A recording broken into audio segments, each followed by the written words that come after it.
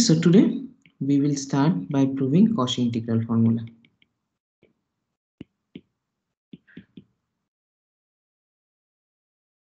Okay, so what does it uh, like? What is Cauchy integral formula? What does it talk about? Okay, so what? So let me let me first uh, give you the statement. So the statement is as follows. So let uh, alpha belongs to some uh, ball BAR and F is holomorphic and FB holomorphic on BAR. So I have a ball where my I have a function which is holomorphic and I take a point from that ball. Okay, so let uh, rho positive be such that uh, the distance between A and alpha is less than rho and rho is less than R. Okay, so you can imagine what I'm saying here. So let's say this is my point alpha or sorry, this is my point e and then let's say I have uh, one ball centered at E like this. And then if I have some alpha somewhere here then what I am doing? I am just taking uh, some rho uh, which is uh, slightly bigger than the distance between E and alpha. And what I'll be doing I'll be considering uh, a you know, so let me think. Can I change the color? How do I change? Yeah.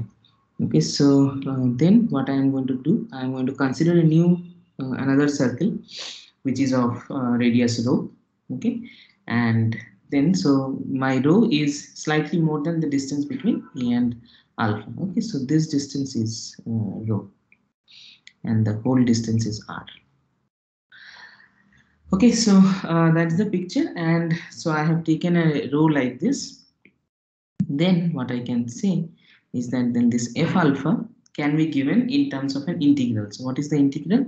Integral is 1 upon 2 pi i a plus gamma rho so uh, this notation i will use very often i will uh, tell you what is this a plus gamma rho f of z minus f of z divided by z minus alpha. So what is a plus gamma rho? Here a plus gamma rho denote the path, the path of the closed curve uh, a plus rho e power i theta or e power 2 pi i theta whatever you want to take and theta belongs to 0 to 2 pi. Okay, so uh, this is the circle centered at A with radius rho. Okay, so that's the closed curve I am taking. And as I said, I told you that when there is no orientation given, generally you will always take the positive orientation. So uh, the orientation is in the anti-clockwise direction.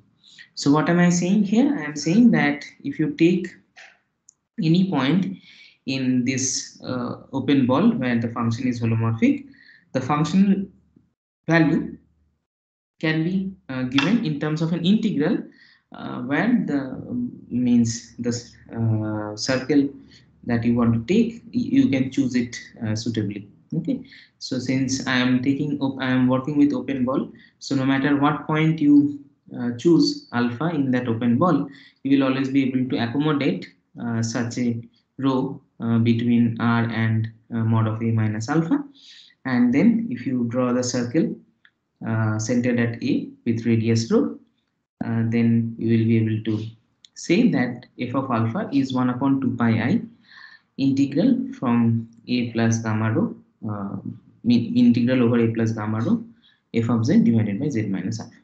Okay, so that's the Cauchy integral formula that we have. Okay, so uh, let me first give you the proof of Cauchy integral formula and then we will see how we are going to use it. Okay, so the proof is, is, is going to be rather easy. Okay, so uh, it will not be difficult at all. So let's see. So proof. So remember the g function that we saw in the last class. We are going to utilize that. Okay, so consider the function. Consider the function g of z which is defined by f of z minus f of alpha divided by z minus alpha if z is not equal to alpha. This is all this I am defining on BAR. Okay, and f prime at alpha if z equal to alpha. So this is defined on so on BAR. Okay, so on this ball, I am defining this function g, okay, which uh, uh, is holomorphic everywhere in BAR except perhaps the point z equal to alpha and but nevertheless it is continuous at alpha. Okay so is, is it clear which function we are taking? This is the one which we took in the last class. Remember? Yes, sir. yeah. Okay so uh, that's what we have now. And uh, so once i have this what can we say we saw in the last class that for this kind of g we have uh, triangle theorem holding true and thereby uh, since this function is continuous the integral theorem holding true and eventually the closed curve theorem holds true right? Correct? So if you follow that trail what we get? We get tell me if you agree to this or not a plus gamma rho g is equal to zero. Do you agree to this? Yeah? Yes, sir. yeah? Okay. As let me write closed curve theorem is applicable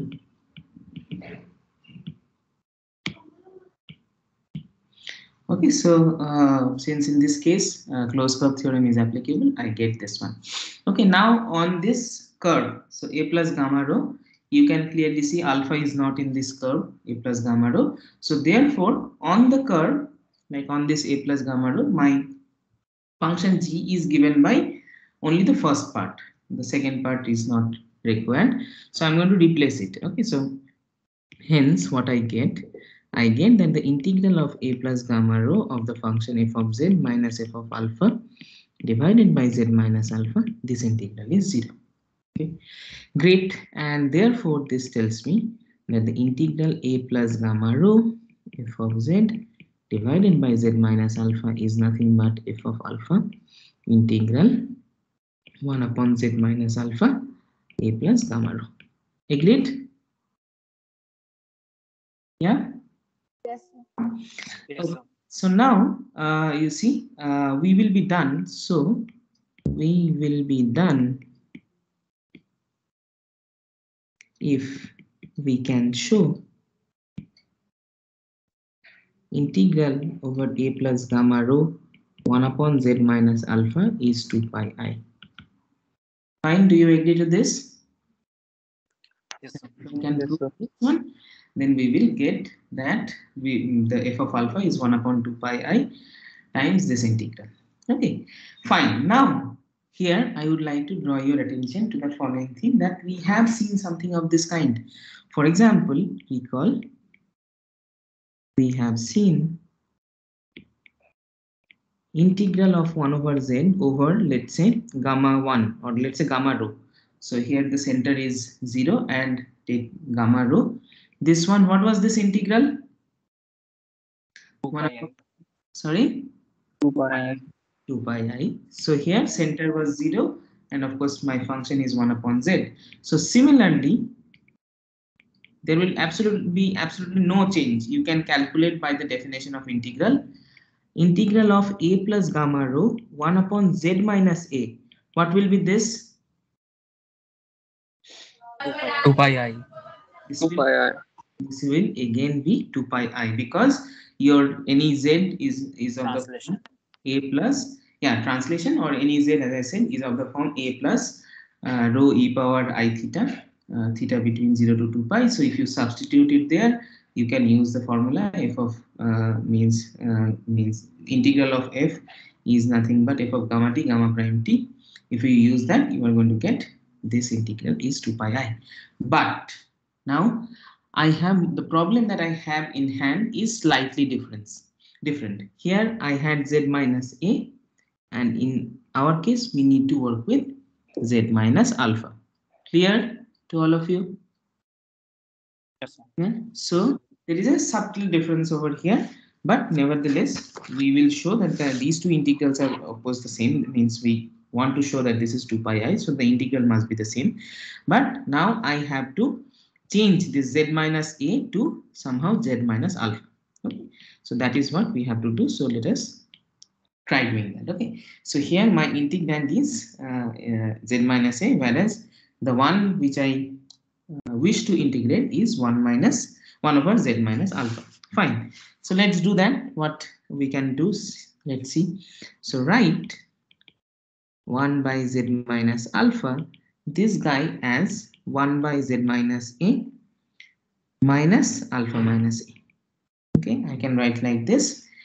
And therefore, if I, for example, take 1 by z minus a common, what I get 1 by 1 minus alpha minus a divided by z minus a. This is what I get. So I can write like this. Great. So now that I have this information, notice one thing that if I take any point uh, on the curve a plus gamma rho, so therefore distance from for those points uh, means if you take any point like this, the distance with uh, means uh, if you take any point on the circle, the distance from the center is going to be rho. Okay, so note mod of a minus alpha, this guy is less than rho. That was by our choice here. That was by choice. And for all z in a plus gamma rho, if you take any point from the curve, I get mod of z minus a is exactly equal to rho. So therefore, what I get is that this ratio mod of alpha z minus a, this ratio is less than 1 in absolute value. Fine. Okay, so if something is less than 1 in absolute value and you have something of the form 1 minus uh, 1 divided by 1 minus z, then what do you do? Tell me Binomial expansion. 1 minus x exactly. or minus 1. You just you are just going to uh, take the expansion of this. So we can write and moreover, not only this, I will say something more. We can write 1 upon alpha minus a divided by z minus a equal to 1 plus alpha minus a z minus a plus alpha minus a z minus a squared plus alpha minus a z minus a cubed and so on so forth. Means let me just write in terms of infinite series k from 0 to up to infinity alpha minus a divided by z minus a power k.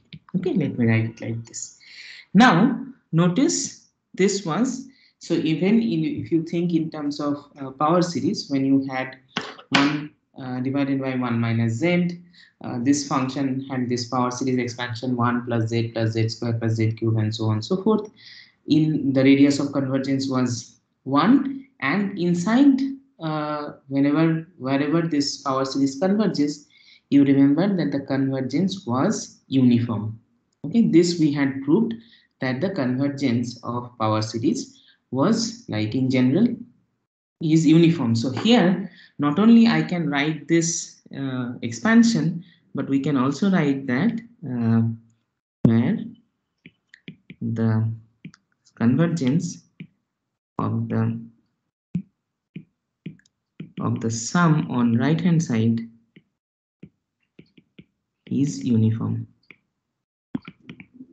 okay so this we had seen that uh, this the uh, convergence is uniform on a plus gamma rho. So if i take no matter what point i take for uh, from this uh, curve the convergence is going to be uniform.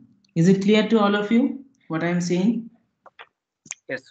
right? Yes. now why did i say uh, talk about this uniform convergence i talked about this uniform convergence for the following reason when i told you about ml inequality the next corollary immediately that i had proved was that if i have a sequence of functions which converges uniformly then we had seen that the limit and the integral can be.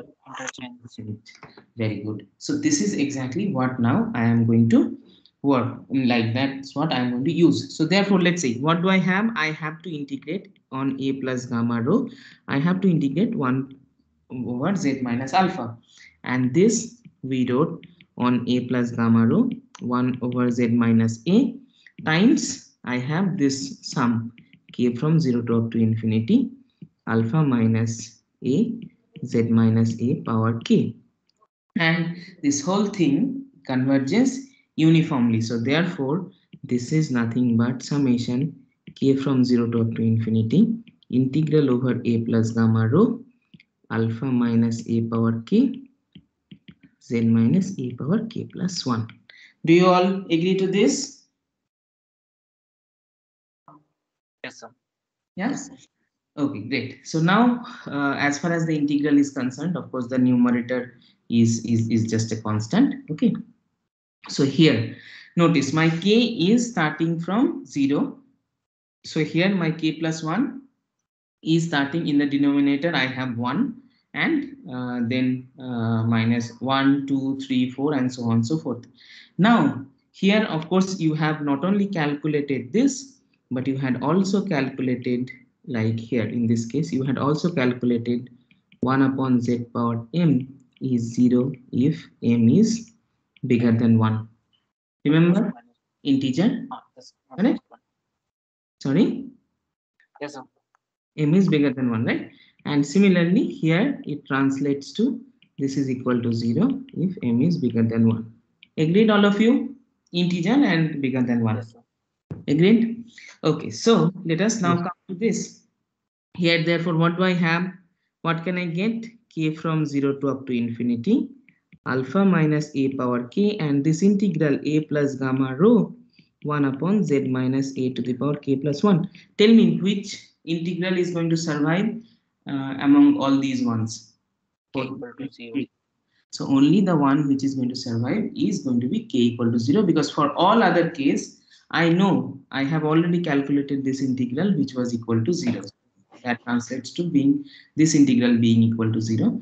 And uh, therefore, tell me what do I get eventually? This is integral k equal to 0 means uh, alpha minus a Integration 1 by z minus alpha. 1 by z minus a, not alpha. 1 by z. Uh, yes. So this is 2 pi i. And this is precisely what we wanted to prove. Correct? Yeah. Yes, So is this clear to Yes, sir. yeah? Why uh, first of all why i needed this uniform convergence and how i uh, means i could ignore all the integrals uh, for k bigger than or equal to 1 is it clear to everybody? Yes, yeah? So it was Yes, sir. in in if you are if you don't want to use this particular result you can even say that if your k uh, m is like if, if you don't want to do calculate actually what is this integral and why it is zero you can just see here that each of these functions means whenever m is at least uh, uh, bigger than one so m is at least two. So in, in each in these cases these functions have primitives right? So uh, 1 upon z does not have a holomorphic primitive in a in a, in a circle centered at uh, 0 but here these things have a primitive and therefore by uh, closed curve theorem this should means like whoever has a primitive you know integral should be 0 so you can do it in that way otherwise also if you calculate nothing you are going to get the same thing okay so this completes the proof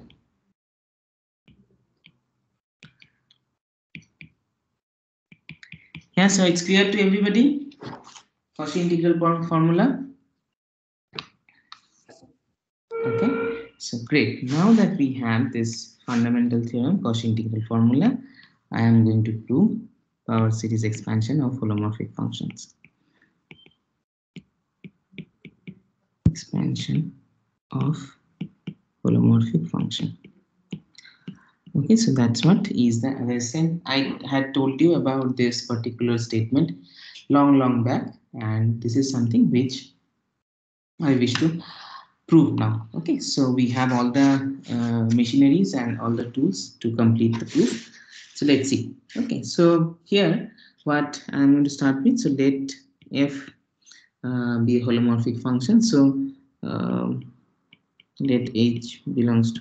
So did I define this notation h of u? Yes, sir. Yeah, set of all holomorphic functions on u, right? Okay. So let uh, f belongs to f is a holomorphic function on BAR. Then f has a power series expansion. Expansion. Of the form. F of z equal to summation. K bigger than or equal to 0 ak z minus a whole power k. Okay? So this is true for all z. So for all z in bar this is true for all z in bar i can write my function uh, as a power series uh, in this uh, in this open ball. Okay? So whenever i have a function which is holomorphic in any in, a, in any ball then uh, if you look at uh, like then uh, that particular function is going to be having a power series expansion around uh, the center okay? So of course uh, in place of b inside the ball bar you can think of another point alpha. And then around alpha also you will be able to write down a power series. In BR, you will be able to uh, pack uh, some if you take some point alpha.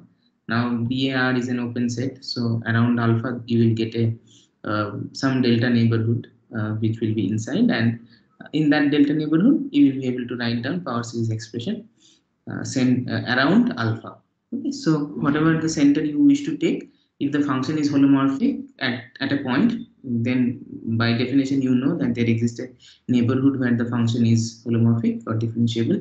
So then in that neighborhood you will be able to write down a power series expansion. Okay so here of course i'm going to tell you what are these ak's are going to be but in general if uh, whenever you your function is given by uh, such a formula we have already seen that uh, so clearly this power series converges on this whole bar so therefore wherever the power series converges uh, it is infinitely differentiable. We have seen all that. So therefore you can even uh, say what are these ak's the ak's are going to be the kth derivative of f at a divided by k factorial. Okay so those things you have already seen in uh, power series theory but now we are more interested to prove this okay? So let's see uh, if i can uh, find out uh, these kind of a power series exp expansion. Okay fine. Uh, so what do i do? I have to write such an expansion for all z in bar okay? So i'm going to start with some point in bar so let so that it becomes easier for you to apply. So i'm taking alpha from bar and choose. So i'm going to show that uh, around uh, like I, I have a power series expansion around a in such a way that f of alpha can be given in terms of the power series. Like in the power series if you substitute alpha in place of z you are going to get f of alpha. So that's that's the idea that we are going to do. So you are going to choose again some uh, rho positive such that mod of a minus alpha is less than rho less than r. Okay? So the main reason why i have to keep choosing this rho each time is because i know that my function is holomorphic on the open ball bar so a priori i do not know how the function is going to behave on the boundary okay. So that's the reason why uh, we are going to always choose such a rho so that we are strictly inside the interior and uh, means we we can use the property of holomorphicity or continuity whatever is required. Okay to integrate. Okay so now once i have that we know so as i said my aim is to express f of alpha in terms of a power series like or like in, in a form looking like a power series centered at a. So uh, we since we have to express f of alpha in that way we can use uh, Cauchy integral formula from Cauchy integral formula formula that f of alpha is equal to 1 upon 2 pi i integral a sorry yeah, a plus gamma rho f of z divided by z minus alpha. So this is what i do uh, i know. Okay now whatever i have done i am going to do exactly the same thing. Okay so just notice this one. Uh, we know again 1 by z minus alpha. What was this? If you go back uh, if you go back in the proof of uh, Cauchy integral formula 1 upon z minus alpha was this guy right? So this means i have uh, like it is 1 upon z minus a times this power this this infinite series okay? So we know that this is k bigger than or equal to 0 alpha minus a power k divided by z minus a power k plus 1 agreed this is what we have already seen okay? For z in a plus gamma rho so if i take any point from uh, on on the circle of uh, radius rho centered at a we know that 1 upon z minus alpha looks like this. And moreover the uh, in the summation the convergence is uniform. And the convergence is uniform. Uniform.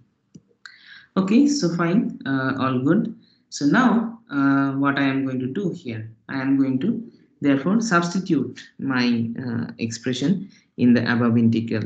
So we get so we get f of alpha is equal to 1 upon 2 pi i integral a plus gamma rho. F of z i already have times k bigger than or equal to 0 uh, sorry alpha minus a power k z minus a power k plus 1 agreed this is what i get fine Yes, sir. if I substitute this, I'm going to get this one. So therefore, this is 1 upon 2 pi i. Now, uh, sorry, let me just write 1 upon 2 pi i later. So let me write it as, we know uh, uh, uniform convergence of this infinite sum. So this is k bigger than or equal to 0, alpha minus a power k. Then I write 1 upon 2 pi i integral a plus gamma rho f of z divided by z minus a power k plus 1 okay? Can i write like this? Yeah? Because of uniform so now Yes. call this ak okay? So this is summation k bigger than or equal to 0 ak alpha minus e whole power k fine. All of you agree to this? So therefore what it turns out is that i can write uh, my f of alpha as a, in, in terms of uh, a power series around this.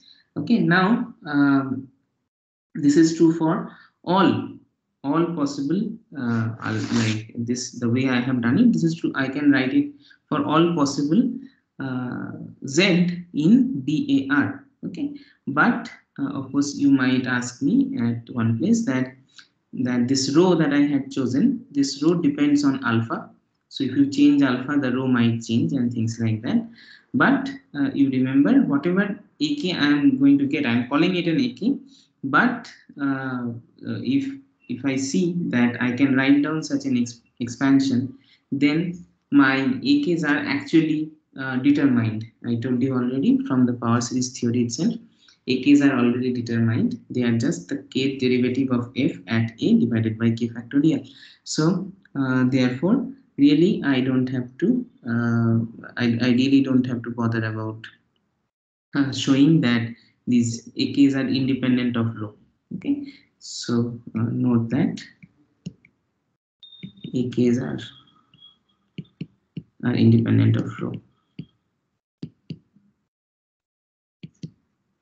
Okay so if, if in place of uh, one rho if you choose another rho which is bigger than this rho and still another rho prime let's say which is bigger than rho and between uh, strictly less than r you are still going to get the same uh, constant. Nothing is going to change. Okay so because as i said uh, we we are going to have this expression. Okay so uh, in fact whatever the proof i have given so uh, you you can give the same proof for all alpha uh, or for all z whose absolute value whose difference from a is strictly less than uh, rho. The same proof will work. And uh, so you are going to get that ak's are independent of rho. Okay. so uh, we see that um, f of z is equal to summation a bigger k bigger than or equal to 0 ak z minus a power k and ak is equal to as i said you write if uh, k derivative at a divided by k factorial. Okay so this is what is your uh, AK and uh, this this one the choice is uh, unique so it doesn't matter whichever thing like whichever rho you want to take.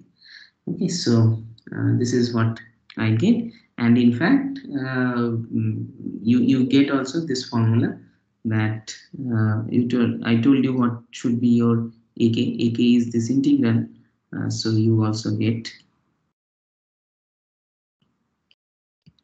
f k at a is 1 upon 2 pi i integral a plus gamma rho f of z divided by z minus a power k plus 1 okay so that is what uh, it should be. Sorry there should be a k factorial this k factorial divided by 2 pi i integral from a plus gamma rho f of z divided by z minus a power k plus 1 so this rho could be anything any any rho which is uh, positive.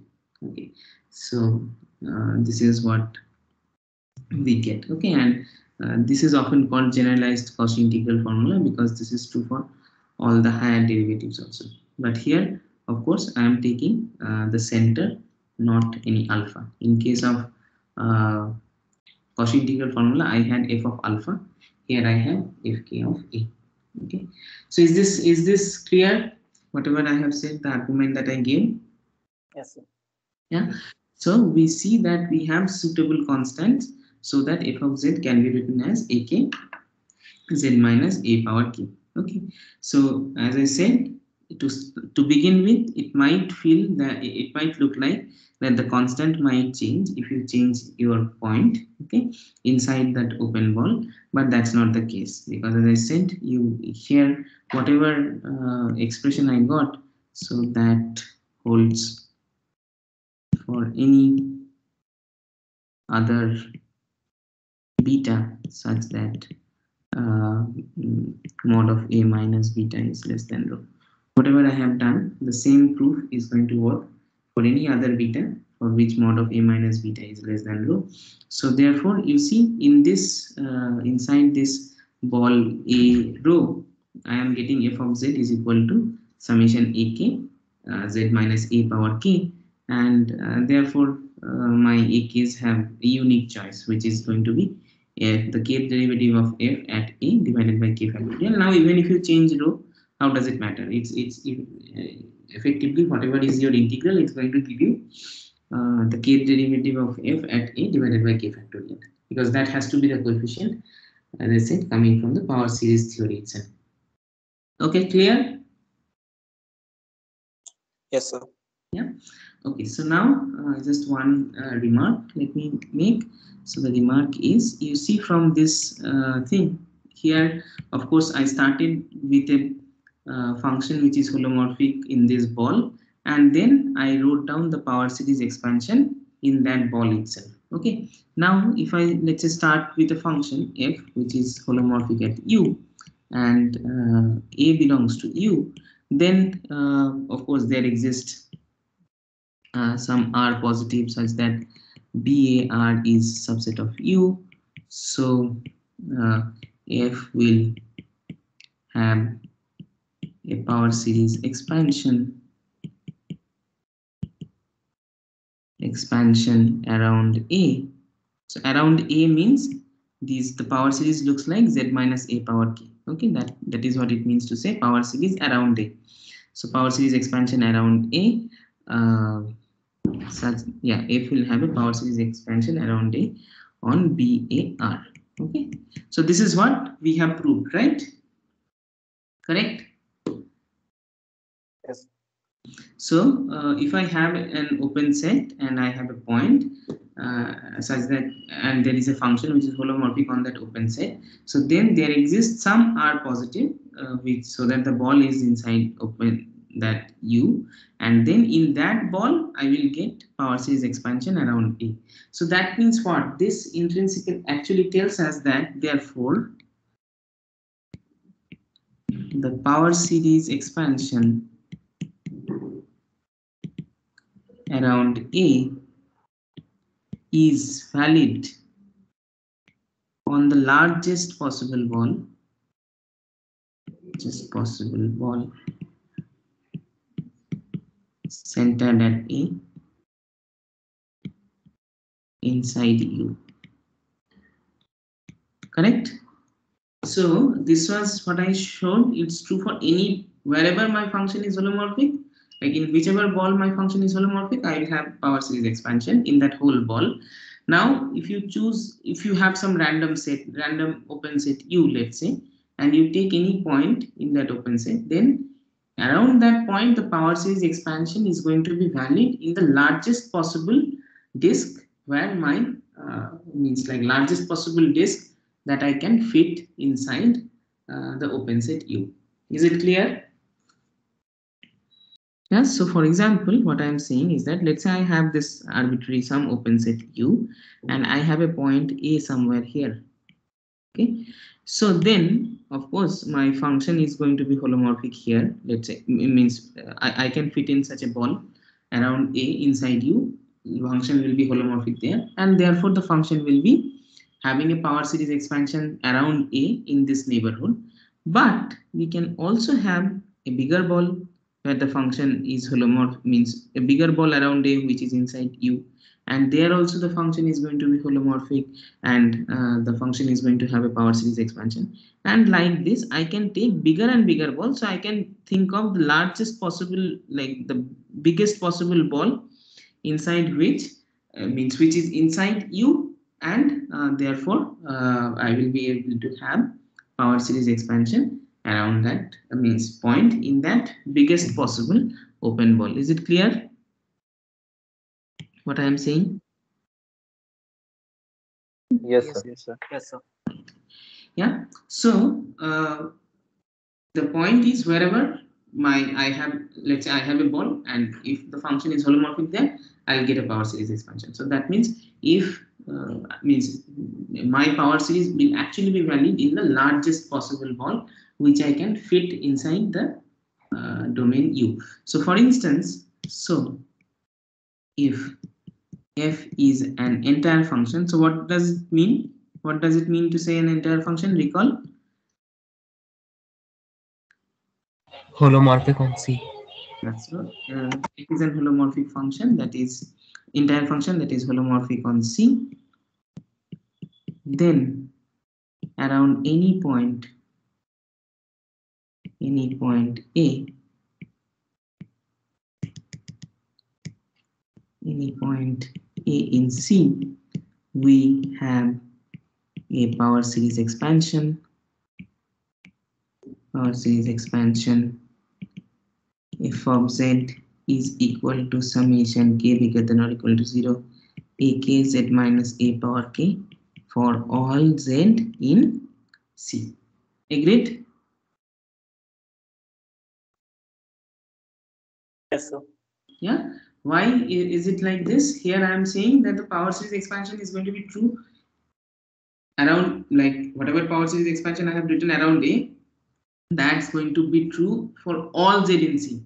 Because you see, since my function is an entire function, so it's holomorphic on whole of C. Now around A, I can fit in uh, open balls of any radius, isn't it? So that Finite radius. so doesn't matter whatever radius you choose, your power series is going to be valid in that uh, uh, open ball around A. So you can since you can take larger and larger uh, open like uh, open disk around A, it doesn't really matter. Eventually, you are going to get that the power series is valid for all Z uh, in the whole of C. Clear? Yeah. Yes, sir. Yes, sir. So uh, one uh, just so this is what we get uh, from this thing. Okay, so uh, it's it's a very powerful uh, statement that we have that uh, any holomorphic function around any point is going to have a power series expansion. Okay, so whatever small neighborhood is, is like it might be in a very small neighborhood, doesn't matter, but it will look like a power series nevertheless. Okay, fine. So now uh, let me just uh, define one not notion or uh, definition which often many book um, like many of the books use this this particular definition or notion. So that so i'm just going to define it so that you are aware of uh, this particular terminology as well. Okay so uh, let u subset c be open and uh, a function f from u to c is said to be analytic. Okay so there is this definition of function or class of functions which are called analytic. Analytic if analytic on u if for any a in u there exists there exists uh, some uh, ball there exist uh, are positive such that BAR is subset of U and F has a power series expansion and F has a power series expansion around A on BAR on BAR okay? So that is f of z looks like summation k bigger than or equal to 0 ak z minus a power k for all z in bar so uh, this is the definition of a function being uh, being analytic. So we say that a function is going to be analytic in a neighbor in an, in an open set. U if no matter what point you choose you will always be able to uh, find a suitable uh, neighborhood around that point inside your domain where the function has a power series uh, expansion uh, uh, around uh, that point a. Okay so of course if i have a function which is analytic so that means around any point it's given by a power series so uh, we have already seen that power series are uh, differentiable, infinitely differentiable in fact, and so on and so forth. So therefore, um, we get that any uh, analytic functions is going to be holomorphic. And what we have just proved from that, we get that any holomorphic function is analytic as well. Okay, so uh, in complex analysis,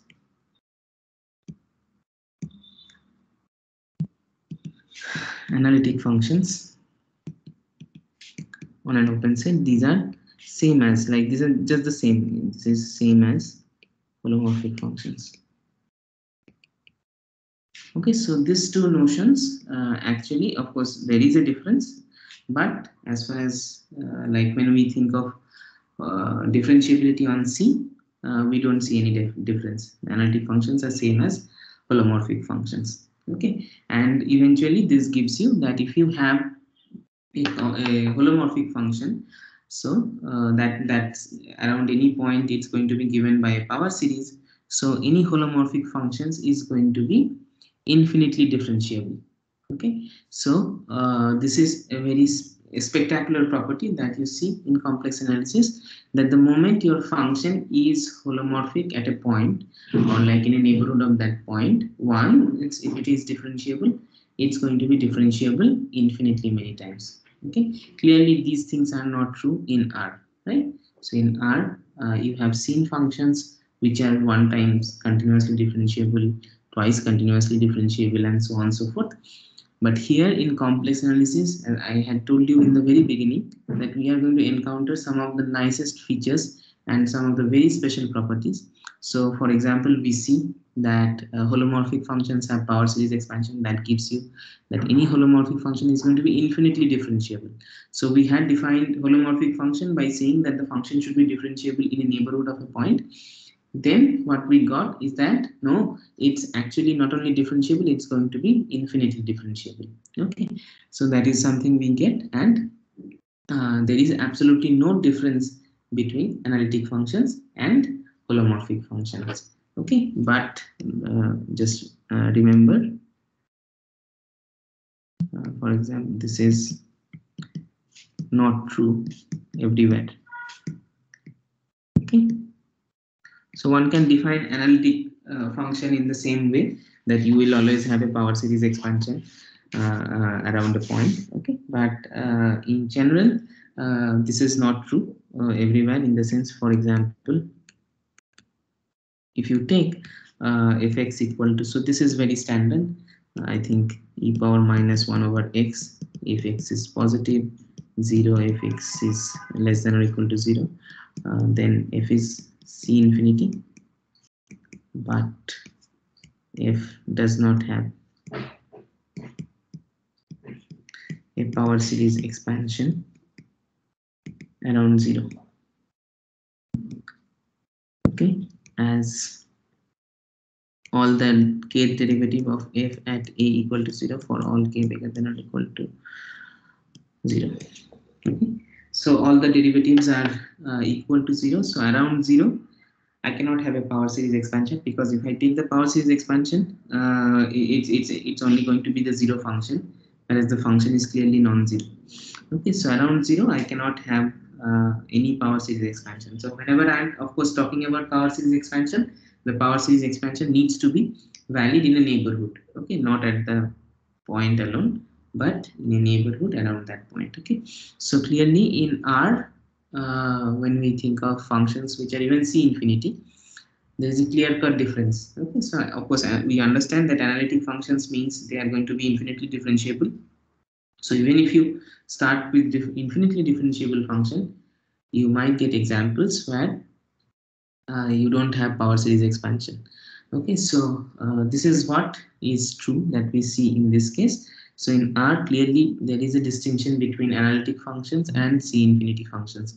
But in C, uh, over complex numbers or like on open subsets of complex number, clearly these two notions are same. Okay, so is this clear to all of you? Yeah? Yes, sir. Uh, I have already mentioned that. Uh, so uh, another remark or corollary, uh, any holomorphic So what is C infinity? C infinity means infinitely differentiable, right? Uh, C1 means uh, one time continuously differentiable, like it is differentiable and the derivative is continuous. C2 means it's differentiable twice and f double dash is uh, continuous. So similarly C3, C4 and so on and so forth. C infinity means you can take, means the function is infinitely differentiable. Okay.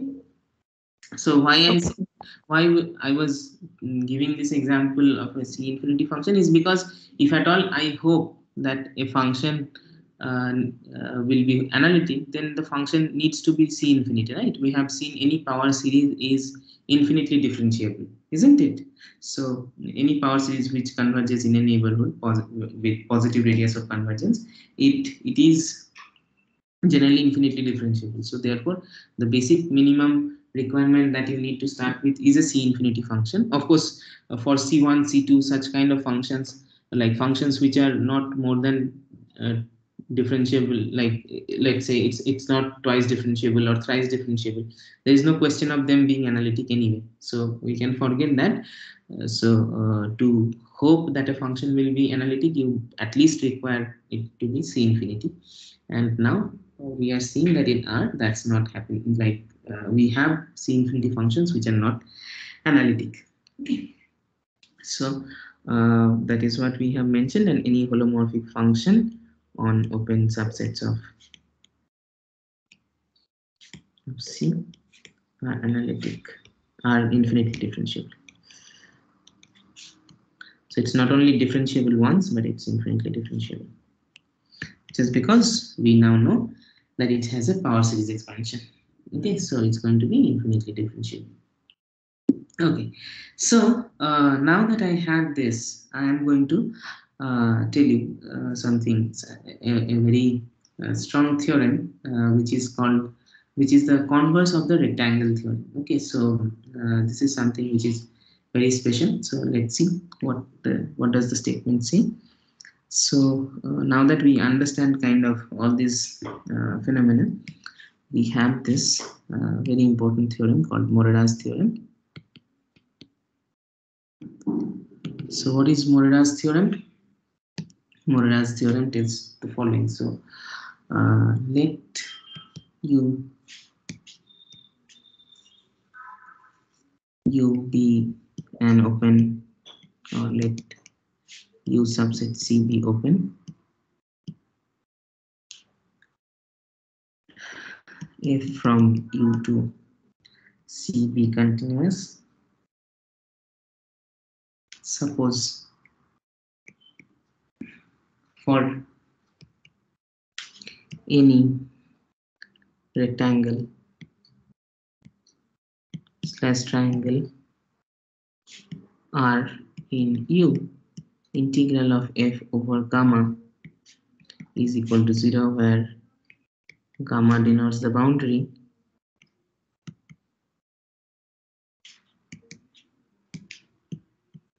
boundary of R. So uh, if I have this phenomenon, then F belongs to holomorphic of U. So uh, what I am saying here, I am saying that suppose I have a continuous function for which the rectangle or the triangle theorem holds, then the function is actually going to be holomorphic. Okay? So uh, this one is is is very special. So initially you saw we had uh, certain functions which we were dealing with. Those functions we were saying like g function little g function that we had considered also today. Uh, for example this one. Uh, the function g that i had defined here. So we had seen that for these functions uh, the integral theorem holds uh, or sorry, the rectangle theorem holds or the triangle theorem holds. Those kind of things we have seen. And I was telling you that this function a priori is holomorphic everywhere except possibly at alpha, but nevertheless it was continuous at alpha. So now what we see is that uh, in fact uh, this function g was actually holomorphic. Okay, so how do I prove this? The proof is very easy. Okay, so uh, since f satisfies uh, if you just follow the uh, implications I gave you, f satisfies rectangle slash triangle theorem. This is what is given. This implies f has a primitive. Primitive. So this is because f is continuous. Uh, we, we have f is continuous. So this implies f as a primitive. So that is uh, what? That is there exists capital f from let's say u to c such that okay uh, capital f prime is equal to little f okay? Or uh, rather if I, I i need to work with some let's say some ball. So let us work uh, in some ball. Okay so uh, let me do it. Primitive that is primitive that is on any uh, ball in U we have a ball inside U. We have uh, f prime defined on uh, f defined on that ball such that f prime is little f okay so uh, that's that is what it means to say that f has a primitive. And now what do i know? F is a holomorphic function. So it's it's it's differentiable in in a ball and its derivative is going to be equal to f. And the moment f is a holomorphic function we know that it's going to be infinitely differentiable since f is infinitely differentiable. We get f is differentiable on that on that ball. And this ball is uh, this ball could be anything any any ball. Okay so therefore um, uh, this implies f is holomorphic on u. Okay so this is something which is uh, uh, very special. So we will see that uh, uh, if I have this thing that on every rectangle or triangle inside that open set, if my function, the integral is equal to zero, uh, then uh, that um, and fun my function is continuous, of course, then only this is applicable. Then we will get that the function is holomorphic as well. Okay, so is this clear? Yeah, so if you if you have a function which is uh, continuous uh, and let's say you do not know uh, for example holomorphicity at few points and but you know that the function is satisfying this uh, rectangle theorem or the triangle theorem in general you will be able to say that the function is going to be uh, holomorphic there. Okay? Yeah so uh, let me quickly write down a few corollaries and uh, like where this can be useful. So for example, okay, just just a second. Let me see.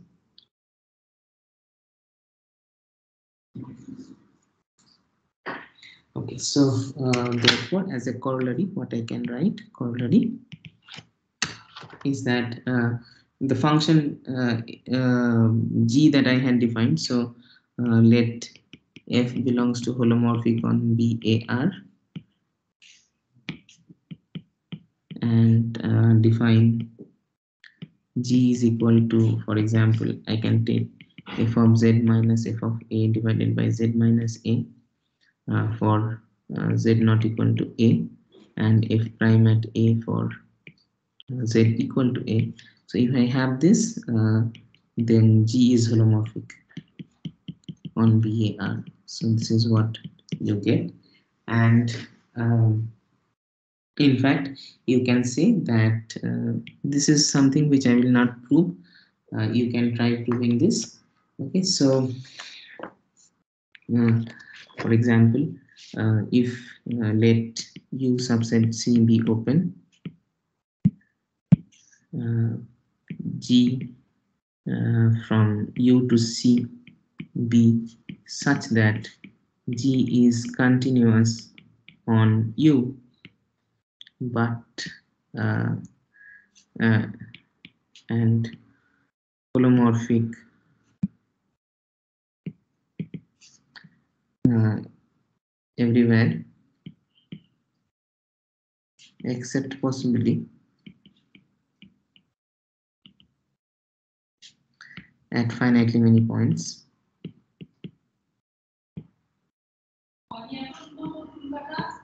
Points, then G is actually holomorphic on U.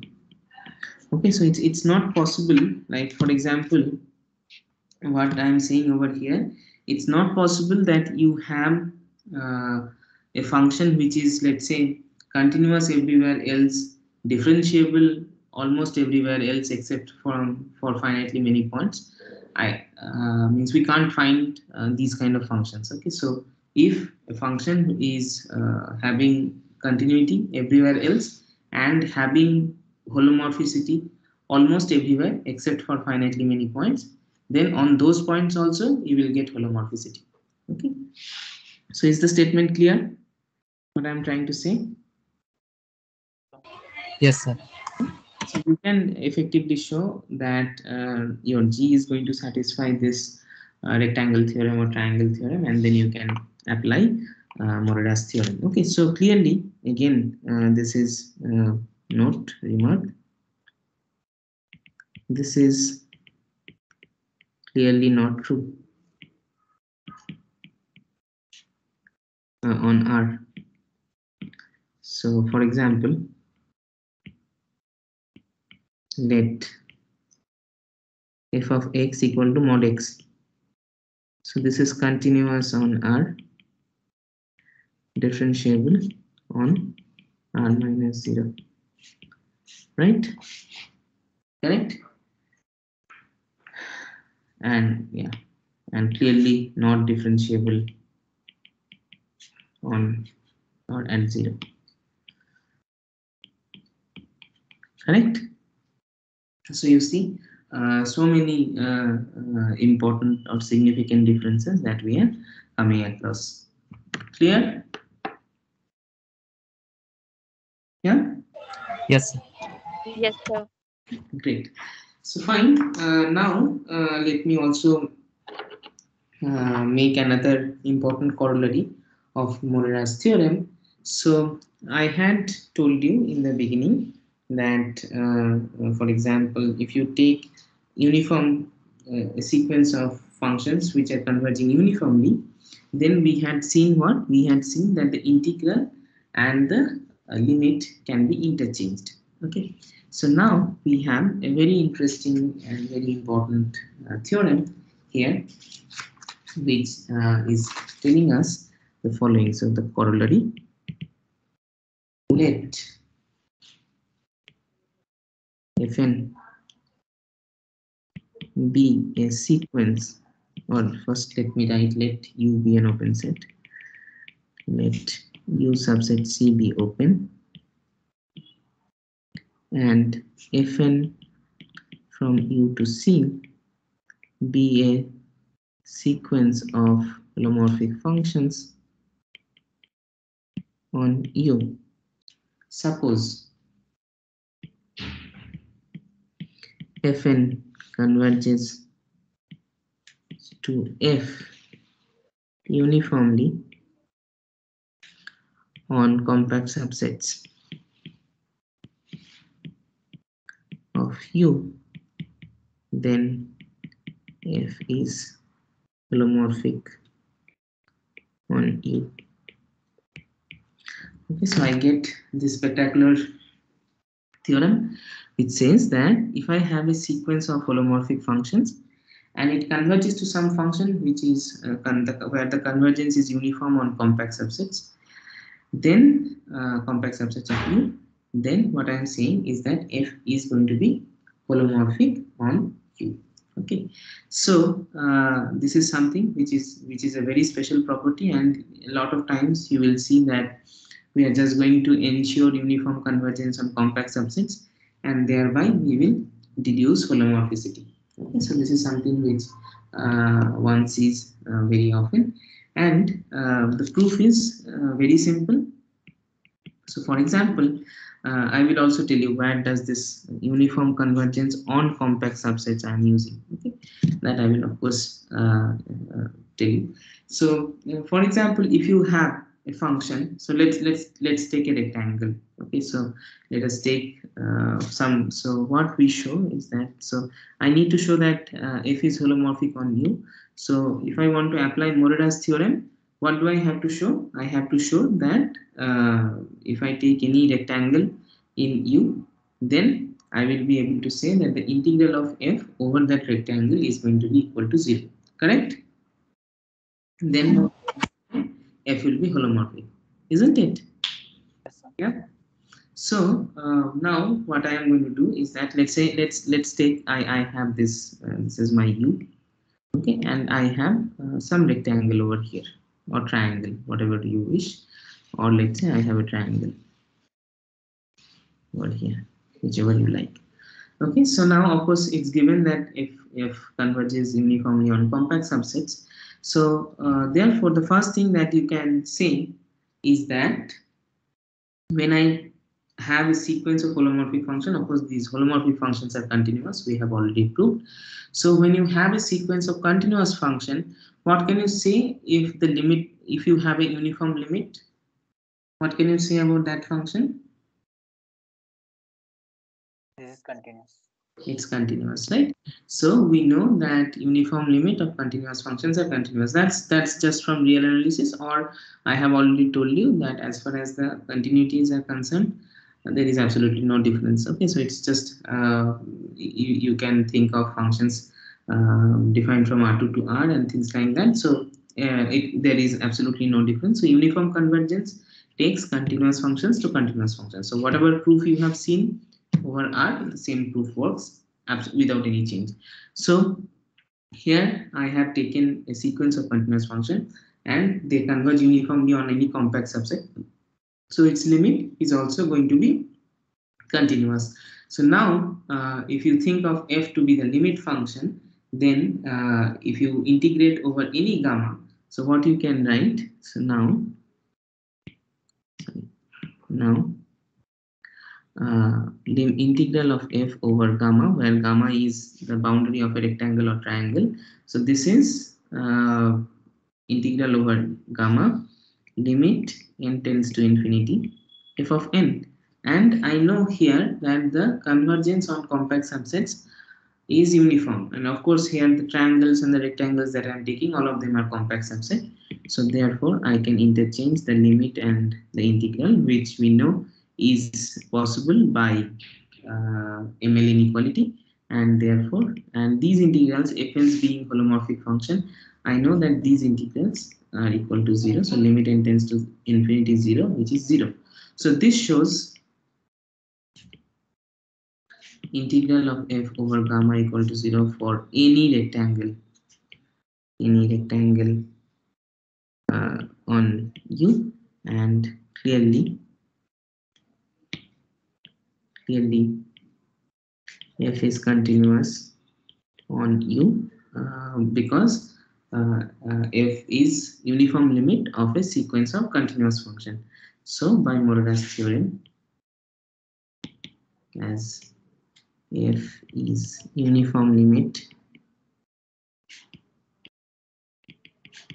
of a so you take any point so that is a compact set in that point your sequence of function converges uniformly. So there you get uh, uniform convergence. So at that point also the function needs to be continuous.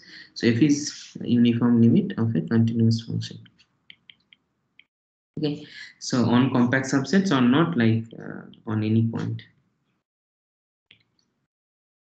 So therefore uh, f is continuous at every point so therefore f is continuous at uh, on u so at any point so therefore f is continuous it is satisfying rectangle theorem or triangle theorem for any triangle slash rectangle theorem. So this implies f belongs to h of u by Morera's theorem. Okay. So that's the Morera's theorem for us if uh, the uh, integral of a holomorphic of a, of a continuous function if the integral over a rectangle or a triangle is equal to zero then we will get that the function is holomorphic actually. Okay so this is this is uh, very special. Okay so is this clear to all of you? Yeah? Yes. okay fine. So uh, let me just uh, prove couple of uh, important interesting results about holomorphic functions. So i have so this one estimate that i'm going to now prove. So this is often useful uh, in estimating certain integrals. So this is called Cauchy estimate. So let me quickly do that. So what is Cauchy estimate? So uh, let f belongs to holomorphic bar a function which is holomorphic in a ball and mod of f of z is uh, less than or equal to m. Okay for all z in bar suppose i have a uniform bound then i can actually bound the kth derivative also. Okay so not only f i can bound the kth derivative at a. So then the kth derivative at a in absolute value is less than or equal to k factorial m times uh, r power k. Okay so uh, the proof is one line. Uh, this follows from this follows from generalized Cauchy integral formula. Okay so what was that? So the generalized Cauchy integral formula is as follows. So let 0 less than rho less than r then we have seen seen uh, in the proof of uh, power series expansion existence of power series expansion we have seen that fk at a is equal to k factorial by 2 pi i integral over a plus gamma rho f of z by z minus a power k plus 1 this was the uh, thing and therefore by ml inequality fk at a is less than or equal to k factorial divided by 2 pi. And uh, mod of f of z is bounded above by m so m. And uh, the denominator mod of z minus a is equal to rho. So this is rho power k plus 1 and uh, the length of the curve is 2 pi rho. Okay. So therefore what i get this is k factorial m divided by 2 pi 2 pi gets cancelled rho gets cancelled rho power k. Okay. So i get this is true like this. So mod the kth derivative of f at k is less than or equal to k factorial m by rho power k uh, for all uh, for all k bigger than or equal to 0 rho bigger low rho 0 less than rho less than r. So this is true for all k bigger than or equal to 0 and for all rho between 0 and r. So clearly if it is true for rho it could be true for rho plus epsilon where rho plus epsilon is also less than r. So uh, letting rho tending to r from below we get uh, whatever is uh, stated there. If k derivative of f at a is less than equal to factorial m divided by r power k. Okay? So you cannot directly uh, use the Cauchy integral formula with the radius r. That is not allowed because we do not know whether the function is holomorphic at the radius r or not. This i have already told you several times. So that is the reason we were working with some rho which is strictly less than r. And um, uh, we can uh, get the uh, desired inequality in terms of rho and then you can uh, tend rho to r okay from below. So then you will get exactly the inequality that you wish for okay. So that's called the Cauchy estimate. Now why did i uh, ask him about like why did i prove this Cauchy estimate? Because i want to end by proving one uh, very fundamental theorem or very popular theorem which is called Liouville's theorem okay. So i'll stop by proving this Liouville's theorem. So what is Liouville's theorem? So this is a very uh, means common statement and you see a lot of applications of this. Uh, even in competitive exams uh, you will see a lot of questions which can be uh, proved using Liouville's theorem. So it says that a bounded entire function is constant. Is constant. So therefore that means what? If i take any function which is any non-constant entire function it must be unbounded. Uh, in other words in other words any non-constant entire function is unbounded. Okay so for example these kind of questions one encounters uh, very naturally is that like for example you consider sine x. So this function fx equal to sine x for x in r what can i say about this function? This is c infinity function. This has power series expansion in fact. But what do i know about this function? Tell me. Bounded. for all x in r but now if you consider the sine z function which was we defined again in terms of power series this time z is in c we have seen that that's an entire function and all that. So what can i say about this function? Now if i take z to be complex this is this is no longer bounded. Okay? So do not make these mistakes that the just because real sine is bounded uh, that does not mean the complex sine has to be bounded in fact it's not bounded because it's an entire function. Okay so uh, let me quickly give give you a proof of uh, Liouville's theorem uh, by uh, using this Cauchy estimate. Okay so I am going to start out by saying that a function a a holomorphic an entire function which is bounded then I'm going to show that it's going to be constant right? That's the statement first statement that I wrote. I'm going to prove it in that form. Okay so let some let's start with some complex number a now we know that it, it, it's an entire function so we know f belongs to uh, holomorphic h b a r for all r positive. So no matter what r I choose, I'll always get f to be holomorphic in such balls as f is entire. Okay, since I have this, I'm going to get uh, this kind of thing that f is holomorphic on these balls. Okay, so now uh, uh, I have told you that wherever function is holomorphic in whichever ball I have holomorphicity, in that ball I am going to get power series expansion. Okay, so on any on any uh, mm, ball BAR for any R positive. If has an expansion of the form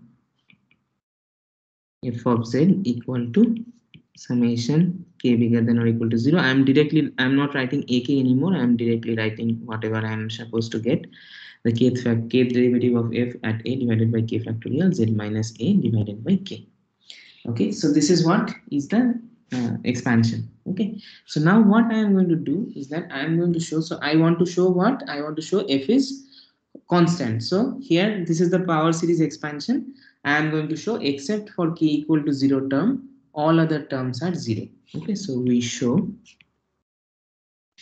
fk at a divided by k factorial this guy or uh, even fk at a is equal to 0 for all k bigger than or equal to 1 okay. So if i get this then will you agree that uh, we get uh, that the function is a constant function Yes, sir. okay so Yes, now sir.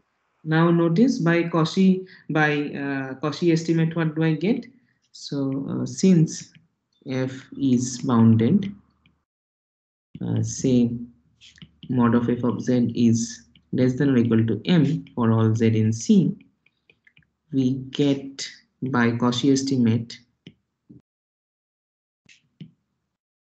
What do I get? Tell me. By Cauchy estimate. What was Cauchy estimate? That the kth derivative of, of f at a is uh, bounded above by this quantity. So this implies the kth derivative of f at a divided by k factorial let us take this one is less than or equal to m divided by r power k. Do we all agree to this for all Uh, r Yes, positive and k bigger than or equal to 1 so i have this estimation for all r positive and k bigger than or equal to 1 and therefore what can i get? Now tell me. From this what do i get? Yeah. This is true for all r positive. positive and And- made as small as possible. Yeah so and k is uh, any k is just k is bigger than or equal to 1 so you see so letting r tending to infinity what do we get?